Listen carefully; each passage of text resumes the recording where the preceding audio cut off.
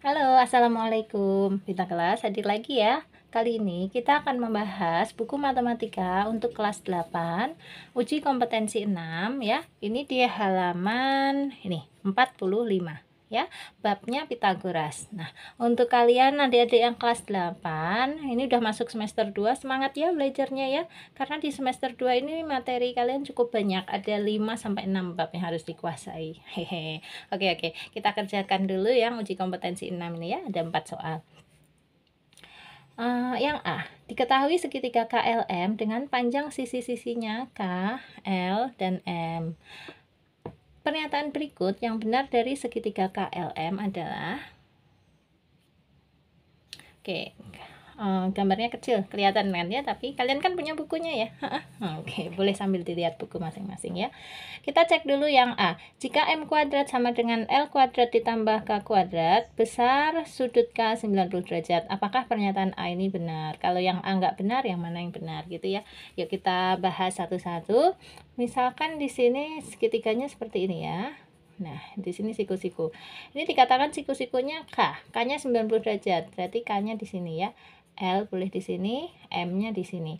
Nah, sisi, sisi itu ini dilambangkan dengan huruf K, L, M kecil ya. Caranya gini, di depan sudut K ini adalah sisi K kecil. Jadi panjang ML ini sepanjang K. Kemudian di depan sudut L nih, nah ini adalah L kecil. Jadi L kecil ini adalah panjangnya MK. Lalu ini kan sudut M ya. Nah, yang di hadapannya ini berarti di sini M kecil. Gitu caranya ya. Sehingga ini kalau mau menghitung M kuadrat, M kuadrat itu sama dengan yang terpanjang ini K. K kuadrat diapakan? Dikurangi dengan L kuadrat. Harusnya gitu. Jadi kalau mau mencari M kuadrat harusnya L eh, K kuadrat dikurangi L kuadrat. Dia malah L kuadrat ditambah K kuadrat. Berarti ini pertanyaan yang pernyataan yang ke satu ini salah ya. Sekarang pernyataan yang B ini ya uh, siku-sikunya di M. Nih M, kita gambar dulu. Di sini M, boleh di sini L, di sini K, boleh ya. K sama L-nya boleh bebas di mana aja. Yang penting M-nya yang harus siku-siku. Oke, kita letakkan dulu. Nih yang menghadap M besar ini berarti di sini M kecil. Ini yang menghadap K besar berarti di sini ya K kecil, ini L kecil. Oke, kita lihat ya M kuadrat. M kuadrat itu ini ya. M kuadrat itu yang terpanjang ya kalau di sini. Nah, berarti M kuadrat itu sama dengan K kuadrat ditambah L kuadrat. Jadi kalau yang mencari yang terpanjang caranya kedua sisi yang lainnya uh, ditambahkan ya. Kuadrat terus ditambahkan. Benar nggak di sini? Nah, di sini L kuadrat kurangi K kuadrat. Jadi salah juga ya. Harusnya K kuadrat ditambah L kuadrat. Lalu yang C. Siku-sikunya di L, gambar lagi. Siku-siku di L. Ini Nah, K-nya boleh di sini, M-nya di sini. Oke, berarti yang terpanjangnya nih ya, L kecil. Nih, di depan M besar ini nih, M kecil. Terus di depannya K besar nih, K kecil. Yang diminta M kuadrat lagi ya. Berarti ini ya, terpanjangnya tetap yang L ya. M kuadrat sama dengan ini L kuadrat diapakan dengan K kuadrat? Dikurangi K kuadrat. Bener gak? Oh kebalik. Harusnya L kuadrat kurangi K kuadrat. Dia nulisnya K kuadrat kurangi L kuadrat. Berarti pernyataan ini juga salah yang C ya. Berarti sekarang kemungkinan yang D yang benar kita cek aja. Siku-sikunya di K. Gini ya. K sini boleh L ini boleh M ya. Siku-siku di K. Berarti sisi terpanjangnya ini K. Di depannya L nih L kecil gini ya. Di depannya M nih M kecil. Oke. Berarti terus dia maunya K kuadrat. Berarti ini ya. K kuadrat nih K ini kan yang terpanjang. Berarti dijumlahkan ya. L kuadrat ditambah M kuadrat. Bener nggak? K kuadrat sama dengan L kuadrat ditambah M kuadrat. Betul ya berarti pernyataan yang benarnya adalah pernyataan yang D gitu oke kita lanjutkan yang nomor dua perhatikan gambar berikut yang ditanya panjang sisi PQ Nah, di sini sisi miringnya 26, sisi alasnya 24. Untuk mencari PQ, rumusnya adalah akar dari PR kuadrat dikurangi TR kuadrat gitu ya. Sama dengan akar 26 kuadrat dikurangi 24 kuadrat sama dengan akar. Nah, di sini Kak Sari pakai cara cepat ya. Kalau penjumlahan eh, kuadrat eh pengurangan kuadrat ini caranya gini. 26 ditambah 24 aja. 50. Terus dikali 26 dikurangi 24 adalah 2. Jadi 50 kali 2 100 gitu. Akar 100 adalah 10 jadi panjang PK eh nggak usah pakai akar lagi. Akar 100 adalah 10 cm jadi panjangnya PQ adalah 10 cm kalau kalian nggak pakai cara cepat seperti ini nggak ngerti gitu ya boleh cara biasa ya. 26 dikali 26 dikurangi 24 kali 24 nanti hasilnya juga sama pasti 100 ya. Terus di akar. Akar 100 adalah 10 jawabannya yang A oke lanjut soal nomor 3 Diketahui kelompok tiga bilangan berikut 1, 2, 3, 4 ini ya. Yang ditanya kelompok bilangan di atas yang merupakan triple Pitagoras yang mana? Nah untuk memenuhi triple Pitagoras rumusnya begini ya.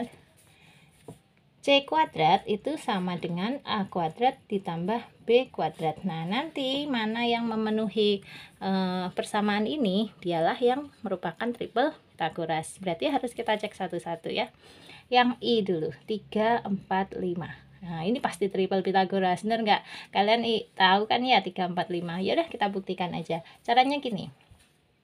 C itu haruslah angka yang paling besar atau sisi yang paling panjang nih. Di antara 3, 4, 5 yang paling besar kan 5. Berarti 5 ini sebagai C.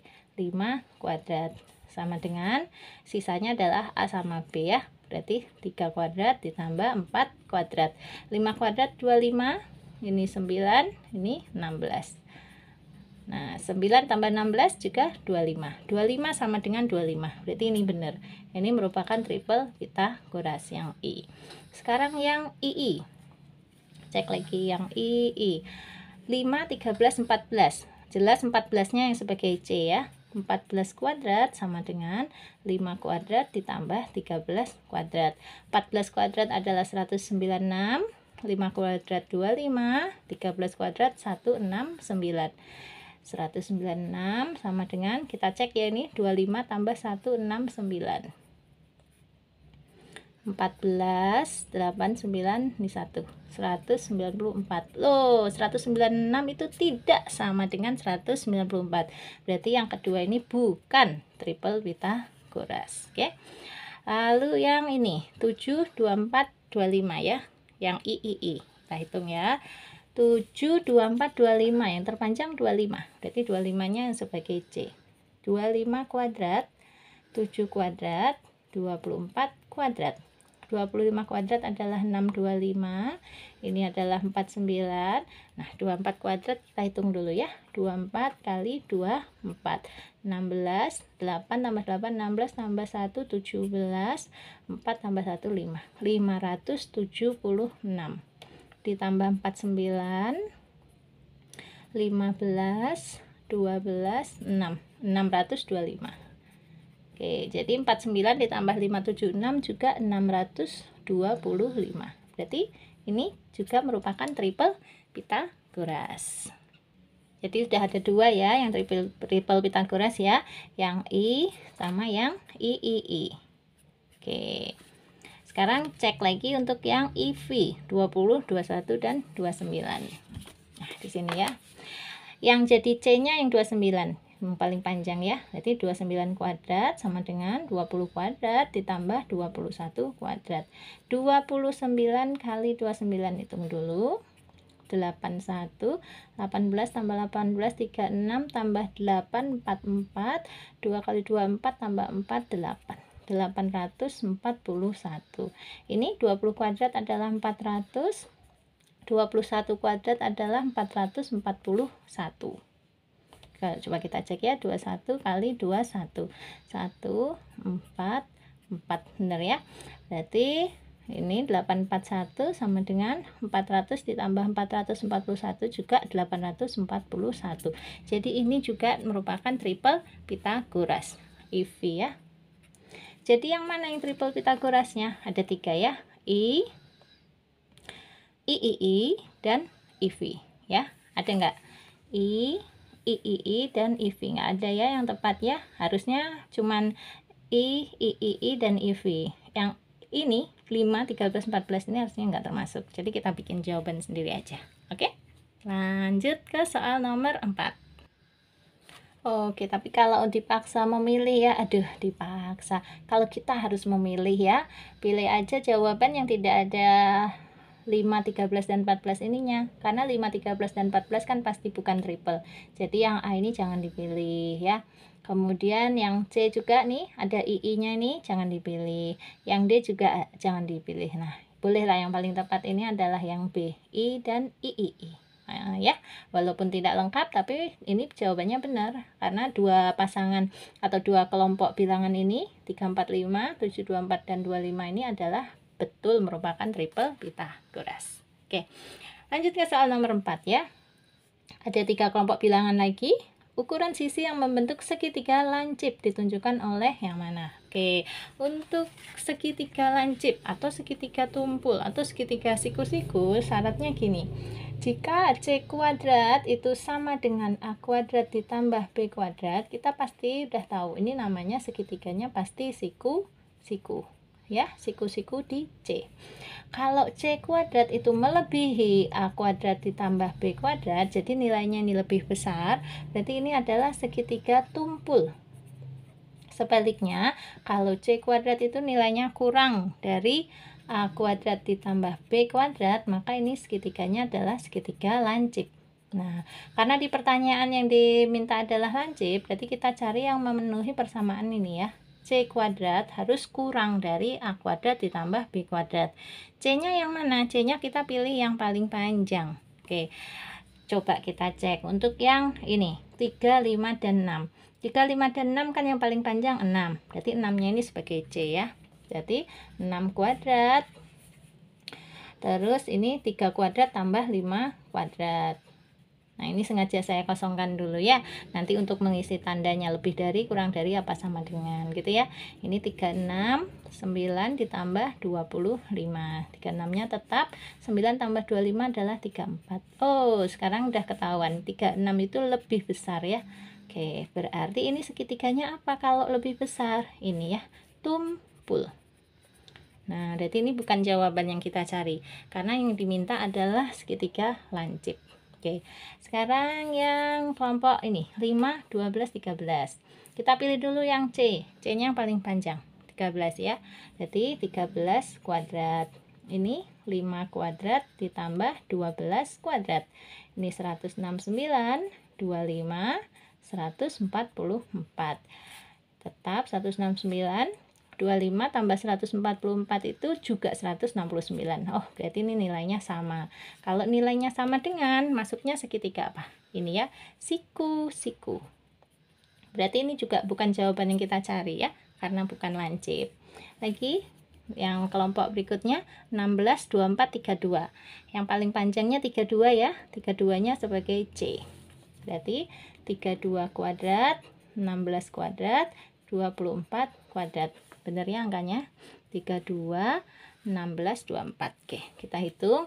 32 kuadrat itu 32 kali 32 itu 1024 he 16 kuadrat hitung ya. 16 kali 16 36 6 tambah 6 12 tambah 3 15 1 tambah 1 2 256 ini 24 kali 24 16 576 kayaknya ya 18 36 37 hmm, bener nggak?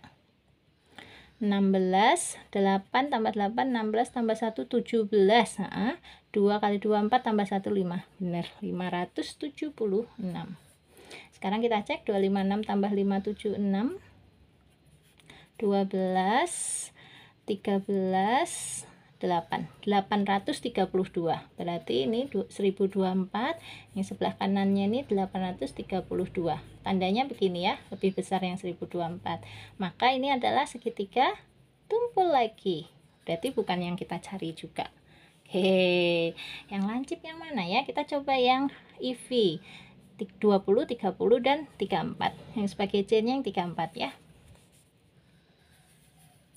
34 kuadrat pasangannya 20 sama 30 20 kuadrat tambah 30 kuadrat.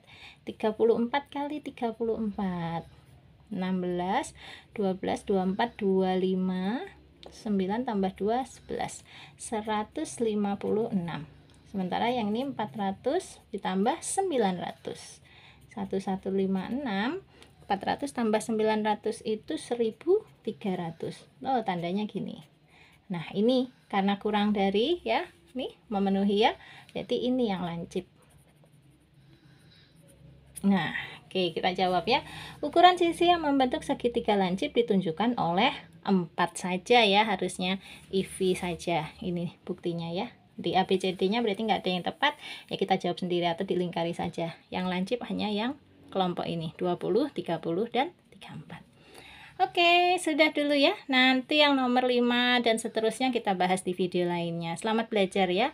Oh iya, bagi adik-adik yang mau gabung di grup belajar saya matematika kelas 8 khusus kelas 8 ya boleh WA ke 081 456 10 9870 ya sama Kak Sari nanti saya masukkan ke grupnya oke oh iya kalau bermanfaat boleh dong di subscribe ya. Terima kasih banyak. Assalamualaikum